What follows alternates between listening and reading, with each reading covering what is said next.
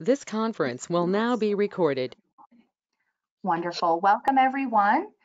Thank you so much for joining the Oceanside Library this afternoon. So without further ado, I'd love to introduce our presenter this afternoon, Fran Cohen. She uh, runs books book discussions and lectures for us at the Oceanside Library, and we're so lucky to have her online with us today for her to bring her wonderful programs to us. So Fran, thank you for being here today with us. Welcome. Thank you. Hello, everybody. Welcome. Welcome to my kitchen. Uh, you may notice it says Ed Cohen on the uh, screen. Uh, that's my husband, and he's my fantastic assistant. Uh, he will be helping us with the visual effects, which will happen later. Uh, for those who know me, uh, you usually see me in a book discussion setting, but I also, as you see here, do different kinds of programming uh, lectures, presentations, workshops dealing with theater, dealing with film, dealing with books, dealing with fun. So uh, in general, anytime you would come to a presentation, I spend a good five minutes or so just offering you suggestions on the cultural scene. Um, obviously, we can't be running to theater and we can't be going to concerts, uh, but it seems that the world has decided to come to us. So I'm going to um, offer a number of suggestions that you might want to make note of. Um, if you have a pen and paper handy, that will be very helpful. Um, and then I will share some of the adventures I've been having over the past few weeks.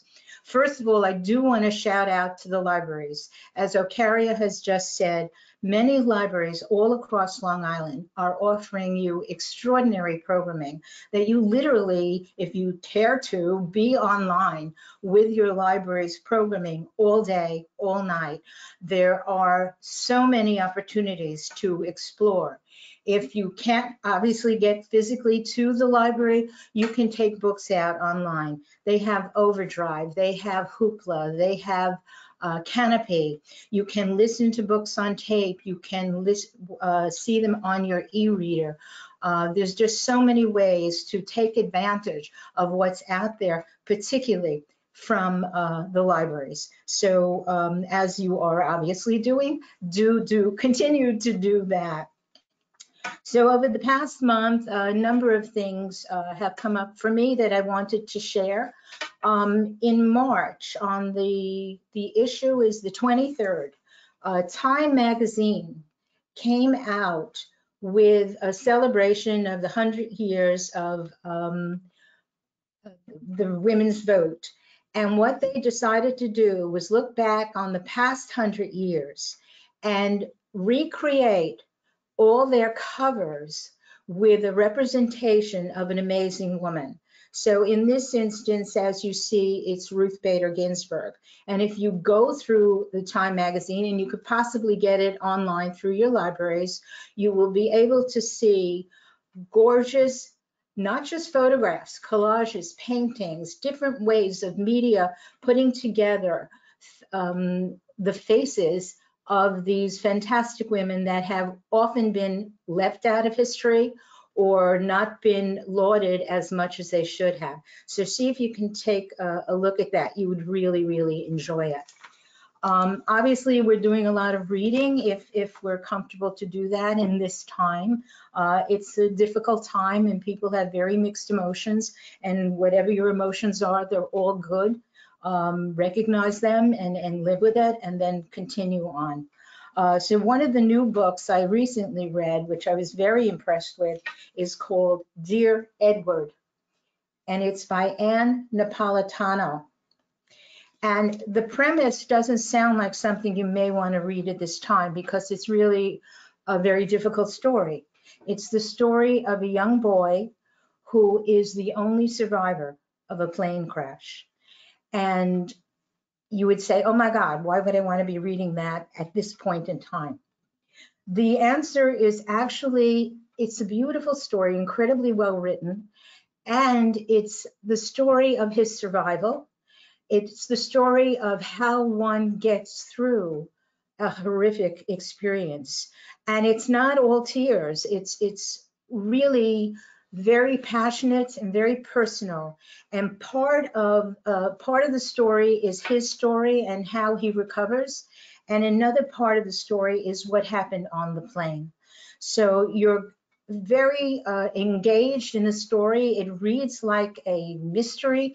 Um, it, it's a very fast read and it's very well done. So I recommend if you're looking for a new book to read to check out Dear Edward by Ann Napolitano. Fran, if I can just interrupt for one Yeah. second. Barbara, um, I can't seem to turn your camera off, so do you mind turning your camera off so that um, Fran is the only one that is on the screen? I'm so sorry, I'm having trouble. It won't let me um, turn your camera off. Sometimes it does. Thank you so much. Thank you, and thank you for coming. Go ahead, Fran. Hi, Barbara. Thank you. Um, sometimes we may not be in the mood to actually sit and read. We may not be able to keep ourselves that quiet. Uh, so what I often enjoy are audiobooks, and I also enjoy listening to books on CD. And when we had opportunity to scoot out into the city, I would very frequently go to Symphony Space uh, on the Upper West Side.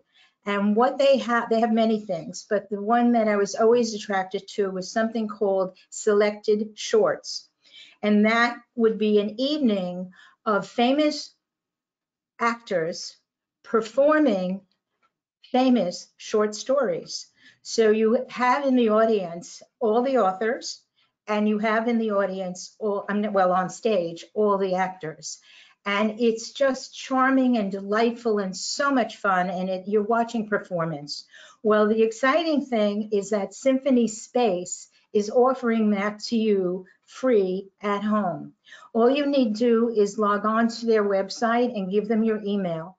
And every Sunday, they will send you a short story read by an amazing actor. And we've enjoyed them tremendously. They've been a, a pure pleasure, uh, 45 minutes mo most likely, and you're just totally transported. So I truly recommend that if it's of interest to you.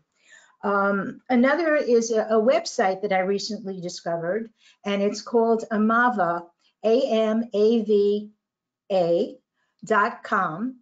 And it's a website which may not sound as if you can utilize it this minute because the concept is discover your next, meaning what else do I want to do in this day? What else do I want to do in this life? And they offer you incredible opportunities to explore um, travel, well, not this moment, travel, um, community organizations, um, helping others, volunteering work. Uh, it's just a comp compilation of many, many opportunities to play with, to say, okay, I have this time. What do I want to do next? And as they evolved with the time, what's happening now is they're giving you uh, insight and opportunity of things you can do right this minute. Um, I also was very flattered to be invited to be a guest contributor to it. So if you go on the site um, under guest contributors, you will find my name. It's Fran Cohen, not Ed. And um, I have an article called uh, Selections or Suggestions from a Professional Reader. And you might find some ideas of things to read and things to do on that as well. Okay, and just one more thing. Um, I love theater, as many of us do. And there are a number of opportunities to see live performances. And the one that I'm most excited about is from the National Theatre in London and they have made available many of their performances online. They come on Thursday and you have the whole week to see them. Many of them could be two, three hours long, so you may not want to do it all in one sitting. And they've had Jane Eyre, they've had uh, Treasure Island, and starting today, they will have 12th Night. So I believe that um, all the websites that I've mentioned are uh, will be posted on this chat so everybody can uh, take a look at it if you need it. Um, also, later on in the discussion, which I will get to in a minute, um, I have a list of questions that are on my website that you may want to think about when you look at comparing books to film. And my website is bookfran.com and it will be in the newsletter section. Okay, that's the beginning. All right, what we're going to be talking about today is the concept of transformation of literature, of books, of stories, of memoirs, of biography. I know this is labeled fiction, but I'm also including nonfiction uh, to film and a comparison. We're going to look at, for the most part, many of us may read a book and love the book and hug it to us and say, oh, this is phenomenal. I, I would wonder what it would be like in a movie. And then later on, we find that it's actually made into a movie. And we're very excited for that. And we go see the movie, and more often than not, we're disappointed.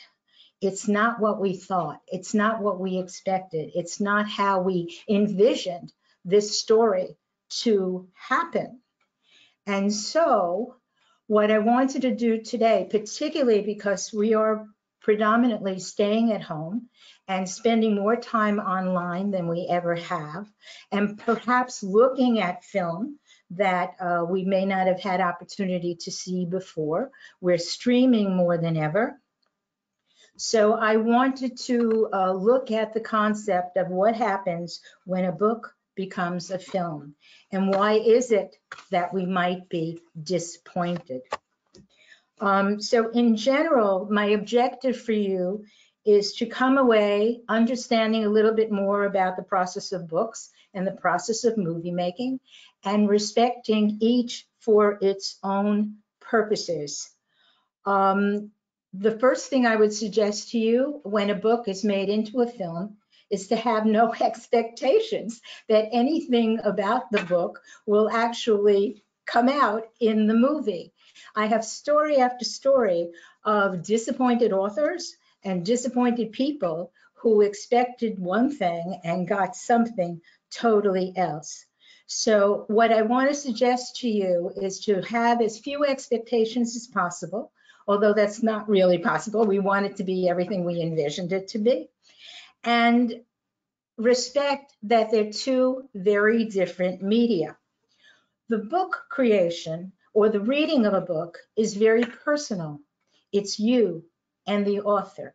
And it's your imagination and your mind and the author sharing his or her guts in a way, his, or her story that you see, if, if you're a visual learner, that you see as you're reading. So you've already cast the movie, you've already set the scenery, you've already know the location.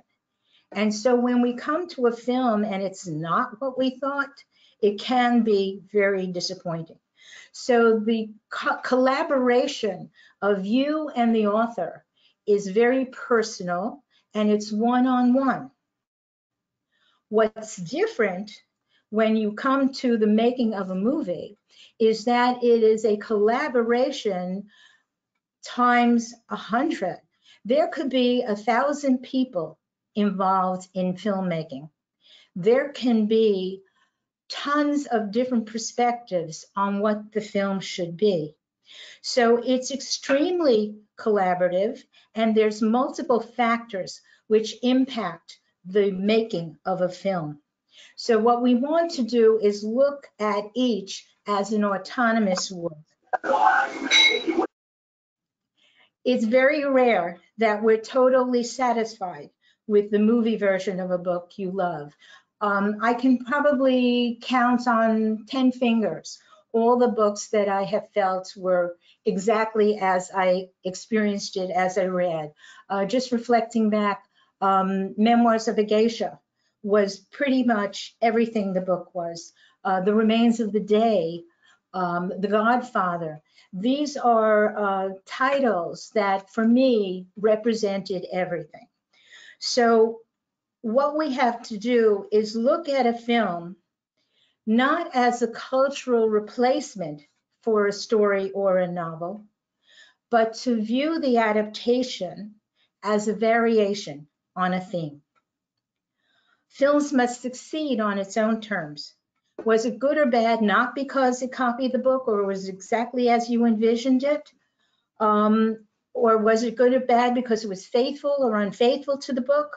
But was it good or bad because it's a good or bad film? In the best cases, an adaptation extends and enhances and elaborates on the source. So what I'm going to do now is give you a little bit of what I call the formal lecture of a variation on book to film. And then when I finish that, and it's only a few minutes long, uh, I'm going to um, open up for everyone. I'm going to be doing a comparison of four different movies or series that we have available to us right now. And some you may have seen and some perhaps not. I'm going to be talking about, so you may want to think about what your experience was in seeing these if you have, or reading it if you have. I'm going to be talking about Unorthodox, which was a memoir and was made into a four-part series for Amazon, I believe. I'm going to be talking about Little Women, which we've had iterations for generations of.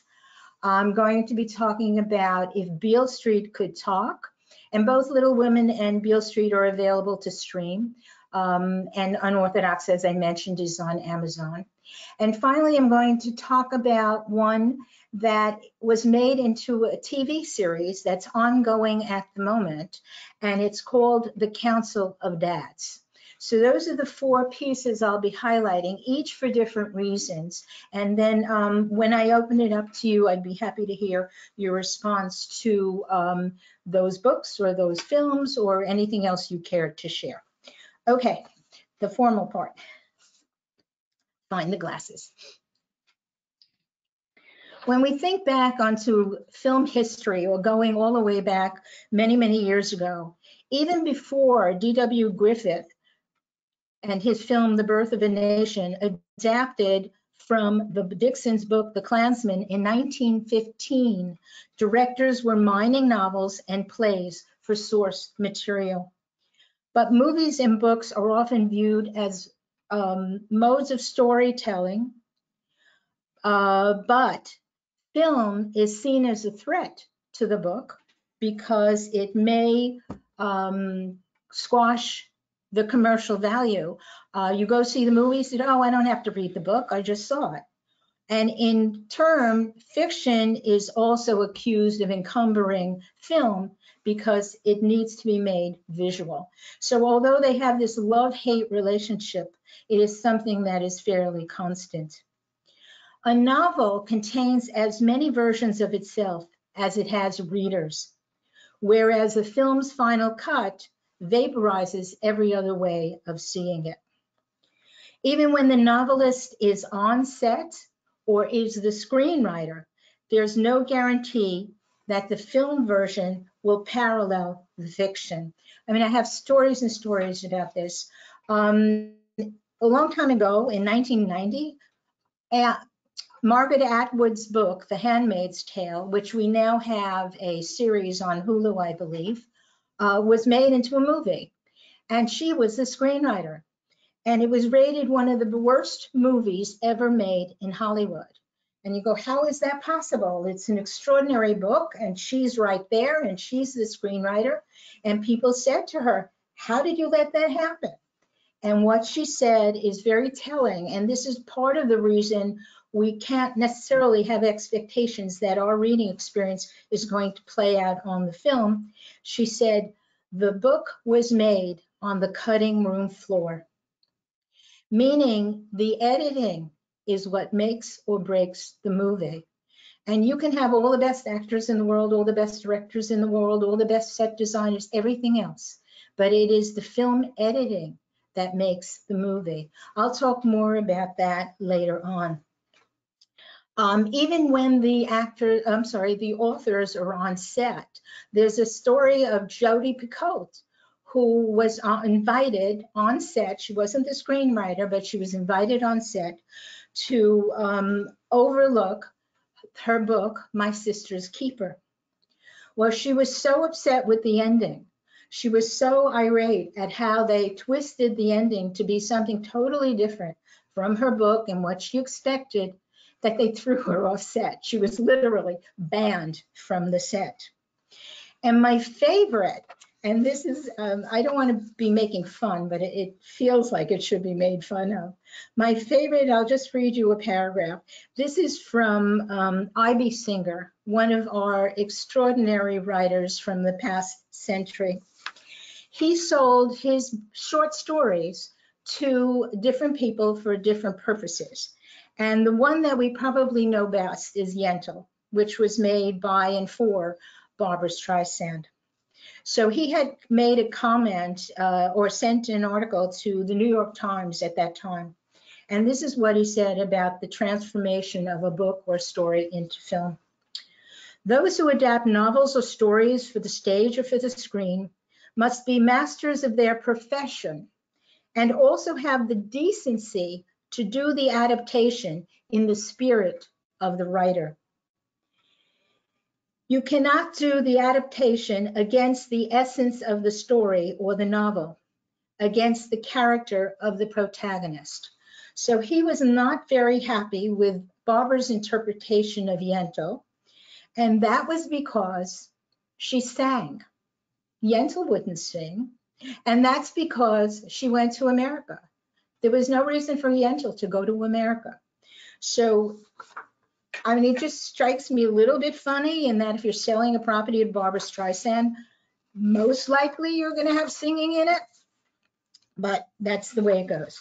So even the authors are not necessarily satisfied with what happens when their book is sold. the best line is from Gloria Naylor. If you remember her, she was the author of Women of Brewster Place, which uh, Oprah ultimately bought and made a film out of. She said, when I relearned that my book was sold, this is what you should do. You should meet in Las Vegas. Holly would come to Las Vegas. She was coming from New York and go to Las Vegas. She said, you throw them the book and they throw you the money and you get out of town. So the concept is really, it's like when you send your children to college. You've given them 18 years of hopefully love and support and good advice and wisdom. And they come back another person that once they leave you, it's another ball game. It's somebody else's story. So authors as well as readers have to accept that something else happens. Excuse me.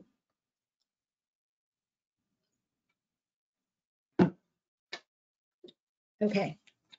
Well, our mindset is that the book is always better, Hollywood still continues to look for books tied to a particular fan base. They know if there's a lot of readers, there's a potential movie um, audience out there. Uh, screenwriters continue to express the desire to stay true to the original work. A screenwriter's job is how to figure out how to take something that people read in over a week and do it in 100 minutes. You have days and days of reading, and you have to condense that to something very short. In the opposite way, if they take a short story, such as uh, Brokeback Mountain, remember Annie Proulx's story from many years ago? They can elaborate, they can expand because it's a short story and you make it anything you want. But in the most part, they're going to have to condense and reduce and get rid of and reframe everything they have in mind. I love this line. Film is a narrative in a hurry. It has to cut corners. Movies depend more on mood and atmosphere. It cannot, even with montage and flashback and flash forward and jump cuts, satisfactorily handle long tracks of time even with the technical mastery of um, the makeup artist and the costumer and the set designer, people don't usually age well in a film if you're going from a young person to an older one. It's the character's age is not necessarily convincing. Film adaptations can stimulate, they can enlighten, but unfortunately they can also infringe on your privilege of a reader as casting the parts, setting the scene, and playing out the narration yourself. A number of authors who have been invited on set and watched a film being made or, or later came to view their film realize that the characters on, on the film were not anything that they envisioned. And although they, for the most part, enjoyed who was cast in the parts they created, ever after they only saw that particular actor. They no longer saw the um, the the actor or the uh, the protagonist as they had envisioned it. The challenge of a film of, cre of transferring book to film is to change thoughts into words, emotions into gestures, and descriptions into actions. It equally must satisfy the reading audience and please the audience ignorant of the book. Since the 1940s, seven out of 10 of the best pictures that won the Best Picture Awards were based on novels. That's an incredible uh, percentage. Film rarely does justice to good fiction. Movies have an apparent, apparently incorrigible tendency to sentimentalize, simplify, and sog up the source. And yet, on any good day, only 200, the, the uh, odds are 200 to 1 that a book can be um, bought and, and made into a movie. And sometimes it takes years. It, it, it, often it takes 10 years before that actually happens. All movies are made at least three times, once in the writing, once on the set, and once in the editing room. And here's where I come into the concept that film is a collaboration. We know this. We see movies. We know all the people involved in it. You have producers and directors and screenwriters and actors and cinematographers, uh, production design, set design. I mean, I can go on and on and on. Costuming, stunt people, uh, musicians, camera people, location scouts. I mean, the list can be endless and endless. And yet, who has the say of what the story is supposed to be about? The other thing to think about is also the budget. Sometimes you have to condense a story because the budget won't allow it to be as broad as you would like it. So who creates this vision? Usually it's the director. The director is usually credited with the success or the failure of a film. And it is his or her vision that we are viewing. Um, and I'll give you an example of this. I'm sure many of us remember the best um, exotic marigold hotel. And that was based on a book by Deborah Moggach called These Foolish Things. It had a parade of directors, six exactly, over the course of its attempt to be filmed. Uh, the screenwriter was Ol Parker, and he wrote 43 drafts for four different directors. It took him three and a half years revising the best exotic marigold hotel he said it was a nightmare I never hope to repeat. Uh, repeat. Every director wanted something different. Every director had something else in mind. It was impossible. But ultimately, the fourth or the sixth director convinced him to stick it out. And uh, as we see, it was a very successful film. Every director has different styles. A movie is not about what it's about. It's about how it is about, which means a movie is not about a subject. A movie is about its style. And very often, if it's a cinematographer or a film director who knows his stuff, they are layering on film history. So there can be enormous amount, many, many versions of any one film because a different director has a different style.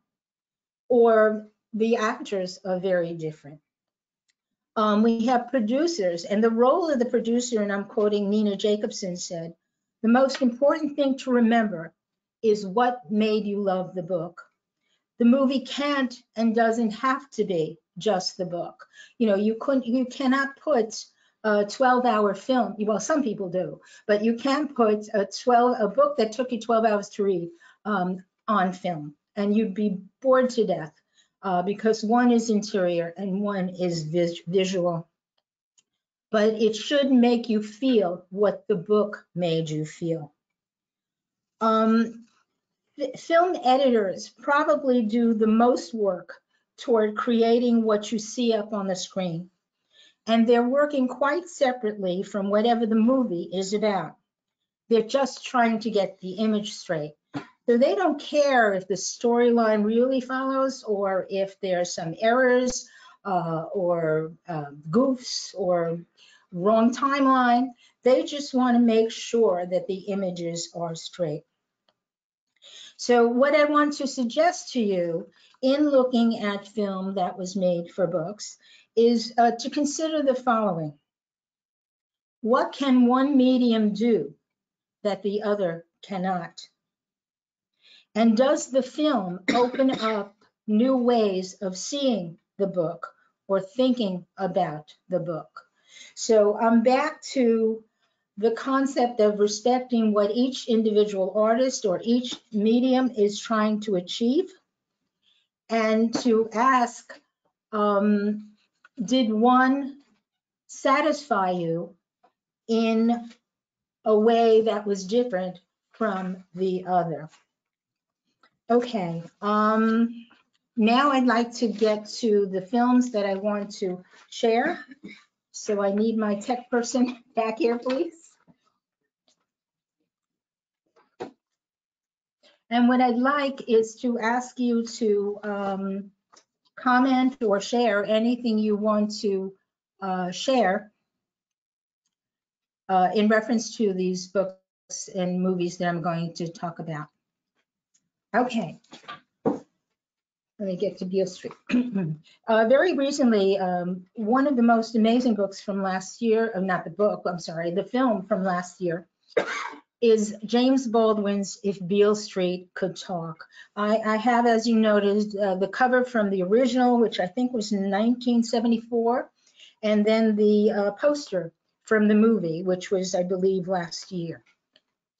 Beautiful story, incredibly written, incredibly rendered. Um, it's the story of love and the story of injustice. A young black man is falsely accused of a crime he did not commit, and his family and his future bride, uh, they were about to be married, but unfortunately, uh, he was arrested before that. Um, they're working on getting him out of jail, an attempt for him to be uh, to show his innocence.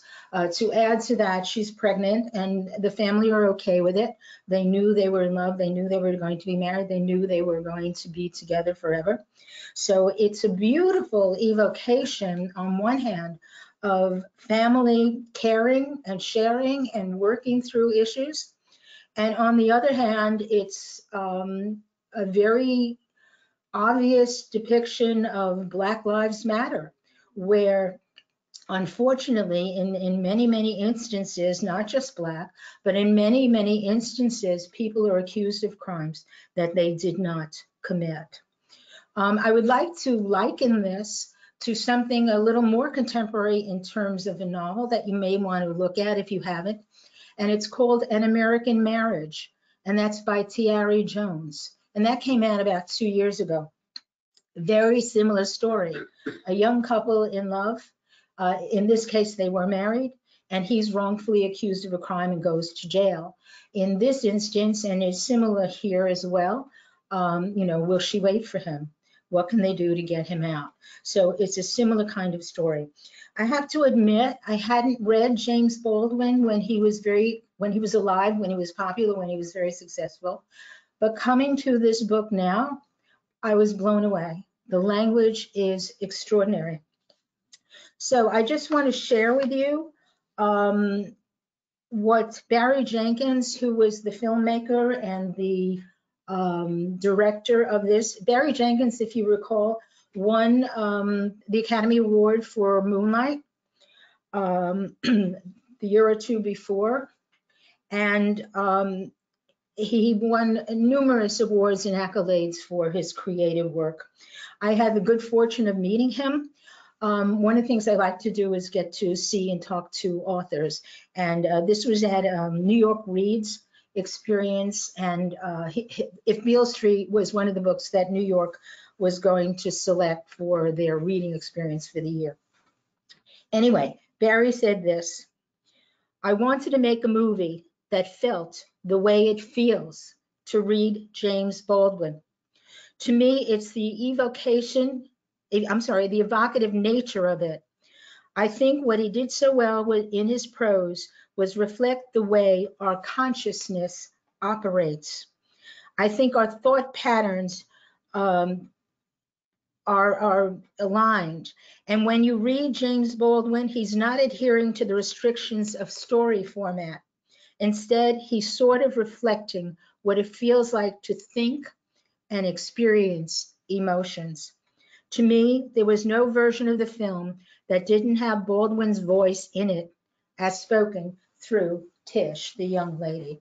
So in this case, both the book and the film did justice to each other. I was very pleased with this rendition.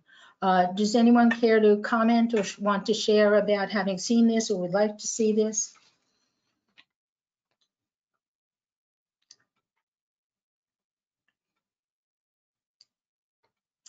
Anyone have a thought?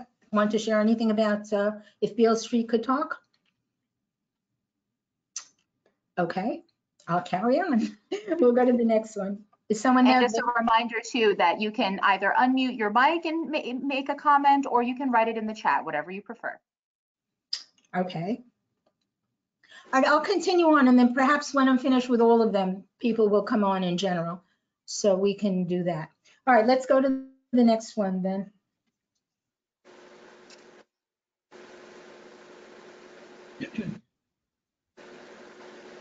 Okay. This needs no introduction. I'm not going to reiterate the story of Little Women. We know it's four sisters. We know they're navigating through uh, life post-Civil War, and um, we've loved it for many, many years. This iteration, and I say that because there were, I think, six films made of Little Women. This iteration is done by Greta Gerwig, an amazing director. She did Lady Bird, if you remember, a few years back. Very true to its source. Um, the story is here as we know and love the story. She fiddled a little bit with the ending. Um, and the one thing that made it, well, there were many things that made it very special and very unique. And I highly recommend you seeing it if um, you haven't done so already, is that it's it has a feminist flavor, although Louisa May Alcott had a feminist flavor even way back when. Um, the time frame has been juggled. You have flashbacks, you have flash forwards, and it creates a puzzle. So you as the viewer who would normally read the book and then expect a linear uh, creation of the movie is not finding that. You're going to go, wait a minute, what's happening now? So she's making you work a little, which is not a bad thing. It's great to keep you engaged. And um, the coloring, the cinematography, the scenery, the set design, beyond gorgeous. The acting superb. I mean, I found this to be an incredibly flawless movie. The updating uh, Jo, the main protagonist, a bit, and the reimagining of Amy. Amy is usually one we dismiss, oh, the nasty kid, you know, that kind of thing. But here you see her in a different light. And uh, the performance is so extraordinary that you see she has much more heart and much more heat. So um, I truly recommend, again, this was a, a lovely uh, presentation. What I wanted to share too, and the reason I selected this, not only because it's a great book and a great movie, is to have you consider what other classics have been reimagined in film. And you have time, and it's probably very easy to access without it costing anything. Uh, some of the old books and the old movies. You can do The Godfather, you can do The Mo uh, Mockingbird, you can do Gone with the Wind. Or if you have the patience, you can see six versions of Little Women. Okay, let's continue on. Oh, wait, Fran, uh, we Mm-hmm. had one comment. Claire said Okay. she found the movie visually striking, gorgeous scenery and costumes, and she hadn't read the book. So Okay, Yeah, Okay. she just wanted to make that comment. You can love it without having read the book. It, you know, each, as I said, you respect as an individual media. And if it prompts you to go to read the book, even better. I mean, sometimes I see a film first and then I scoot to the book. And what happens in a book, not only it's just that it's a personal thing, everything gets broadened. Where you see a character for a couple of minutes and you get a, a stick figure of what he is or isn't, in the book, you get his history, you get his background, you get his connection to the other people, you get his story. And that's what story is about, just adding, adding so much. And anytime I do a book to film discussion on a regular basis, and more often than not, um, what I share is that it's much meatier in the book. There's more detail in the book. Uh, there's more to play with in the book, even if it's true to uh, what the film has created. Excuse me. Okay, let's go on to the next.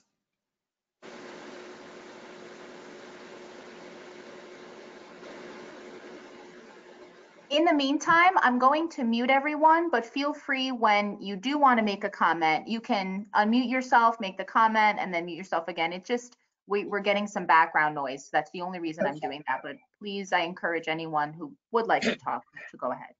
Okay, uh, this is the Council of Dads. And I selected this for a number of reasons, um, because this is made into a TV series, which is ongoing. And it started a couple of weeks ago. So it's a different venue. It's not a film. It's not um, a short clip. It's not a one-time thing. It's an ongoing series. So we don't know how it plays out in terms of how it will end, if it ends. Hopefully they'll be picked up and it continues on.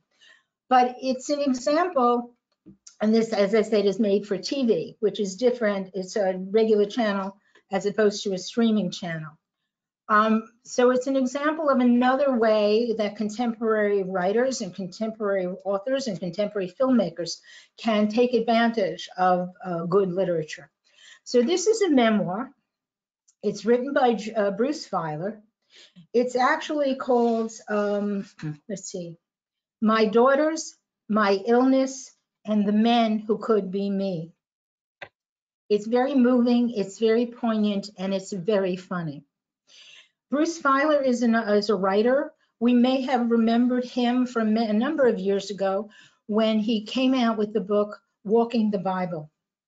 Very unique story. And he has been writing ever since. And a number of years ago, he unfortunately developed a uh, very bad cancer of his leg, and they didn't know what was going to happen. He was married at the time, was still married and had twin daughters. And he started to think in terms of, oh my God, if I'm not here, not only will my daughters, they were very young at the time, they were three, I believe, not necessarily remember me, but know very little about me, and they'll just hear a story here and there. So he got very creative, and in his need to be known to his children, he decided to create what he called the Council of Dads. And in it, he invited six of his best buddies to be a surrogate father if at some point in life um, he is not here. And not just be a father to say, hey, I remember your dad and he was really great, but to represent a different aspect of him. So for his fun-loving side, he checked with one friend. For his serious side, he checked with another. For his writer side, he checked with another, etc., and so on. So they would not necessarily move into his house and, and be with his children on a regular basis, but check in with them every now and then and remind them or be the guide or help them with anything that may, they may have encountered in life if he were not here to do it himself. So it's a stunning, stunning book. I truly highly recommend reading it. I've had the pleasure of meeting him and he's extraordinary. He is one of the most vivacious, gregarious, um, energetic individuals I have ever met. I mean, this was many years ago when the book came out. I mean, he was so, so delicious. I, I had the nerve to go over to him and say, uh, I have two daughters, which would be interesting. I mean, he was very gracious about it. Anyway, um, they've made a, a, a series, a TV series about it. And what they did was start with a premise. It's the same premise. It's a family, father becomes ill, and now what? He creates this council of dad. All that is the same. And then nothing else is the same. All they did was take the premise because the family in this story is um, a very multiracial, uh, a lot of kids involved. Um, and in the story, in the first uh, chapter or um, the first uh, episode, the father dies, which fortunately did not happen. Bruce is fine, he's well, he's doing great. The kids are great, they're 15 at this point, and um, all is well on that front. So here is an example of getting an idea, taking a premise, and then going off in totally different directions. Um, I'll just give you another example of an extreme case of that. Um, I met a woman quite a few years ago named Suzanne Glass, who is a writer. And she just had published, was about to have published a book called The Interpreter. Now, some of us may remember that as a film uh, with Nicole Kidman, and it takes place at the UN. It's probably the only film that ever, at that time, had happened at the UN or that they allowed people in the UN to film. And if I recall correctly, and I haven't reread it to be accurate about this, uh, it was originally a, uh, about an interpreter at the UN, and it was a love story. They took the book and used the premise of an interpreter at the UN, actually incorporated perhaps the first paragraph of that book, and then went on to something totally different. Uh, they made it a spy movie which had nothing to do with Suzanne's book. What ended up happening, interestingly, is that there was a lawsuit because they did not give her credit, they did not pay her, they did not ask permission, they didn't anything. They just took the premise and basically said, well, it's anybody's premise, that kind of thing. But she uh, won in court and um, was compensated for the use of her book in the film. So you never know where a book is going to go once it gets to the movie. Okay. and finally,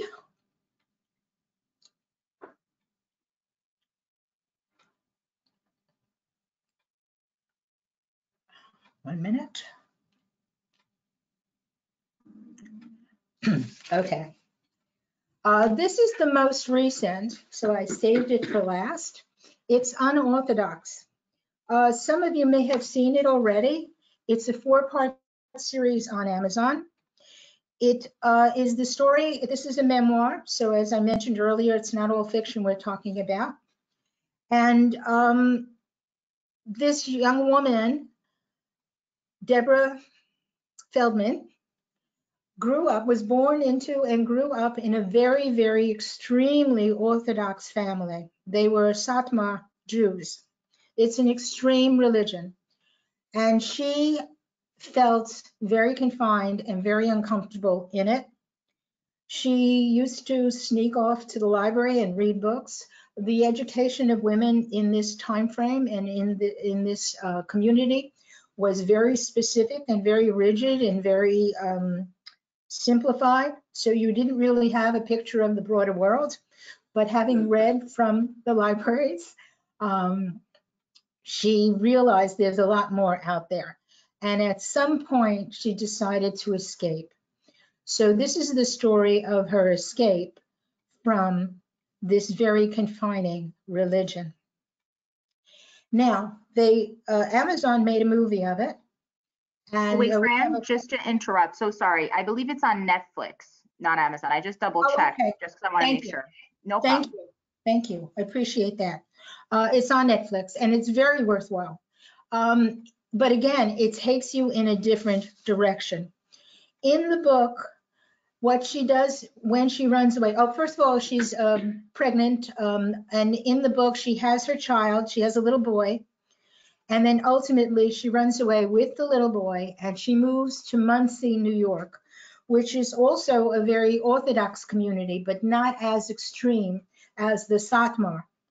So this is that story. She leaves Williamsburg and goes to Monsey and still in an Orthodox community and finds her way or is trying to find her way to um, a personal life, uh, an independent life. If you enjoyed reading this or enjoyed the movie, there, she's written a second uh, book continuing her journey, and that's called Exodus. Uh, you may want to see where she goes from here. Now, in the film, a lot of this is very accurate in terms of giving us insight into what this particular community is like. A lot of it is very ac accurate in terms of reflecting on the family and how they respond to her and, and what's going on in her life. But it goes off in a totally different direction, which is very engaging and entertaining from the perspective of viewing the film. Where, as I mentioned in uh, the book, uh, Deborah just goes to uh, upstate New York. In the film, they have her go to Germany, which is actually where she is living now, but that wasn't when the book was written. And uh, in her mother is in Germany, um, and that's a whole other ballgame in terms of her parentage. And, and she was raised by a grandmother and an aunt, uh, and that they changed a little bit as well. But in the movie, they have her go to Germany to try and find her mother. She's not yet, uh, she just recently found out she was pregnant, so she does not yet have a child. And the movie goes on to share how the Satmar community and her husband are trying to get her back. She's not divorced yet. And in Germany, she finds that she's connected or she becomes involved with a a musician, a musician, no, that's not the word, um, a conservatory of musicians. And it, it, it feels in the movie she's a pianist, and then ultimately she surprises us with another musical talent. Um, and that's ultimately how the uh, movie frames it, along with the discomfort of wondering if she's going to be brought back to her uh, home in Williamsburg. Um, in reality, she became a writer and she is independent and she does live with her son and things are going well. But you have a constant consciousness about who you are and who or what you may have betrayed and, and where you are in this world this minute. So both the book is very worthwhile and the movie or the series is very worthwhile. Okay, I would like to now open it up for you to share any thoughts on any of these things we, Can you do it? Can you hear me? Yeah, I'd like to, I have a thought. go ahead. Okay. While we know, as you've said, that so oftentimes authors are not happy with the final result in the movie, movies do a one, Not always, not always. uh, that's right, not always, of course not always. But movies do a fabulous thing, two fabulous things. Number one, they give the author, in many cases, a lot of money. And that inspires authors seriously to write originally and then to write again. So we get Now, in addition, because more people watch the movie than read the book, many times their goal is to teach a lesson, let's say anti-prejudice, as it was in To Kill a Mockingbird or in South Pacific. More people will get that message through the movies.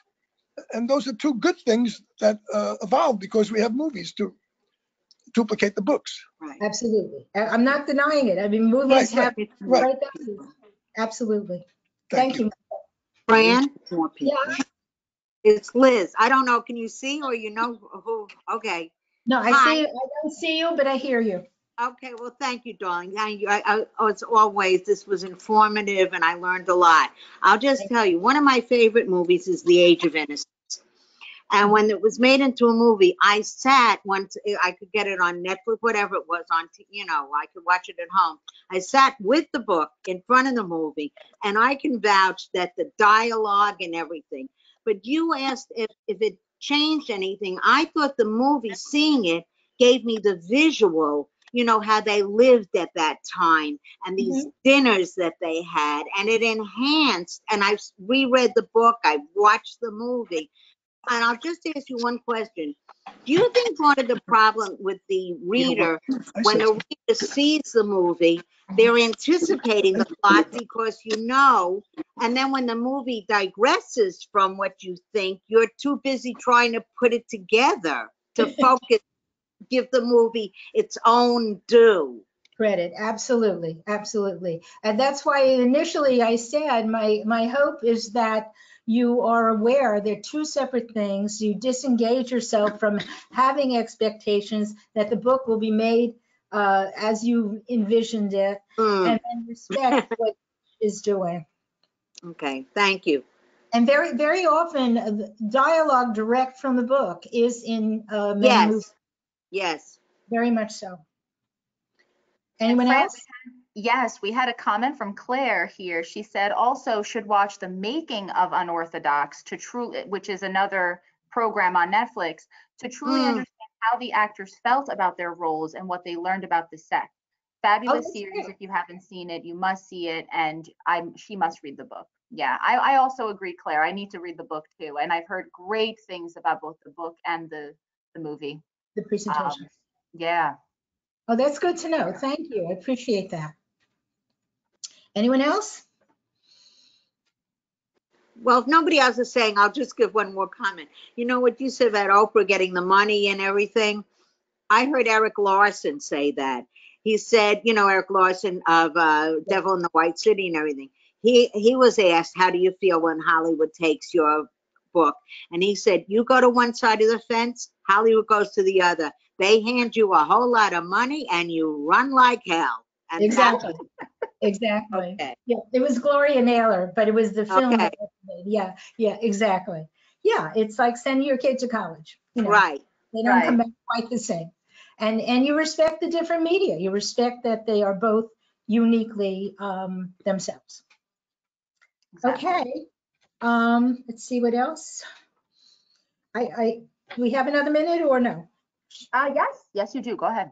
Okay, I just want to share um, an example of a writer who was on set and what surprised her watching her book being made into film. And this is Tracy Chevalier. And I'm sure many of us have seen The Girl with the Pearl Earring, which was another one that was really very right on the money in terms of transporting us from the book to the movie in a similar manner. She said, I didn't write Girl with a Pearl Earring expecting it to be made into a film. However, three years after its publication, I found myself in Luxembourg on a film set that had originally been built for a movie whose setting was Venice. Replace the Venetian arches with rectangular windows, spray paint on a little textured brick, and bingo, it passed for Holland. Watching it being filmed was a surreal experience. All the private ideas I'd had about the setting of my book were suddenly brutally public, with cast and crew crawling all over them, measuring and moving, pulling and prodding. I kept wondering whether eventually they would pull so hard the story and characters would fall apart and I'd be caught out as a fraud. It was strange, too, to see that my scribbling had spawned a whole industry of Vermeer experts. There were reproductions of his and other Dutch paintings tacked up everywhere uh, in the production offices and books strewn about that I myself had read for research. When I first walked into the set of Vermeer's house, I im- immediately thought, no, no, this is far too big. They would never have had this kind of space. However, once I saw just how much equipment and how many people were needed to film each shot, I understood. And it goes on and on and on. Um, I'm used to uh, I'm used to other people transporting what I write. After all, that is what a reader does to books. I wrote Girl with a Pearl Earring for readers to interpret and make it their own. When I published it, I also let it go. I can't control what readers think or how they picture scenes and characters, nor do I want to. That was well put. So um, I wish everybody well. Thank you for joining us. Stay safe, stay healthy, and hopefully we will see each other soon. Thank you. Thank you so much, Fran. Thank you. Thank you. so much, Fran. Thank And you. thank you, everyone, for joining the Oceanside Library this afternoon. Thank you so much to Fran Cohen for this lovely presentation. It was awesome. A great Friday Oh, afternoon presentation. Boys. Very Thank good. you, Fran. Yes. Thank you. Thank you. And Ed, thank you, Ed. You're welcome. My button pusher. Yes. All right, I'm just going to stop the recording.